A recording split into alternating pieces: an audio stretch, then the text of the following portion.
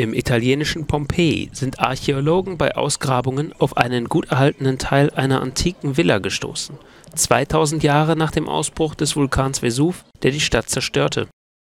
Die Arbeiten legten den Innenhof einer antiken Villa frei, dahinter verborgen Wandmalereien, reich an Symbolik und typisch für ein Domus, das Stadthaus einer wohlhabenden Familie im Römischen Reich. Unter anderem sind Jagdszenen, Vögel und idyllische Landschaften zu bestaunen.